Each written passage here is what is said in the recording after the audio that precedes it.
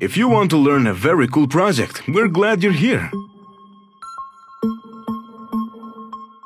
We will share with you step-by-step tutorial on how you can make a coffee table from cement and cardboard. First, you've got to mark the lines on where you'll need to cut the cardboard. And then, of course, cut it. Then grab a polystyrene sheet and copy the shape of the previously cut cardboard in it.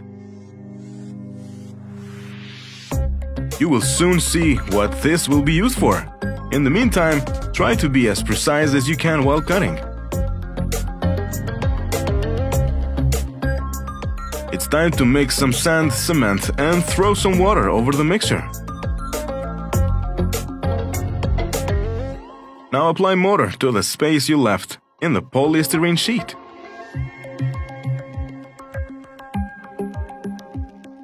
You'll need to place a thin metal rod in there, and then add more mortar on top of it. It's time to deal with the top part of the coffee table.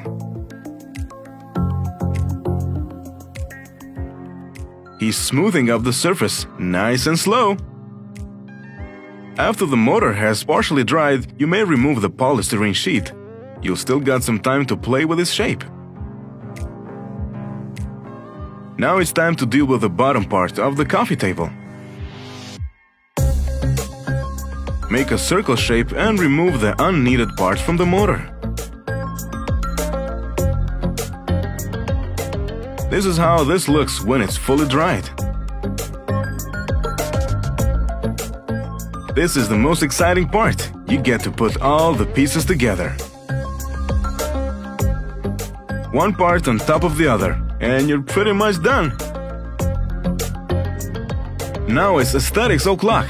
Go ahead and paint it however you want.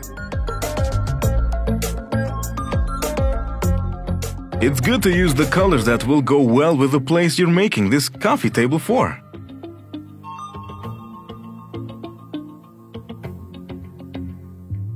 Pour your creativity here. A nice coffee table, as this one deserves to look good when finished. This brown shade looks like a nice choice.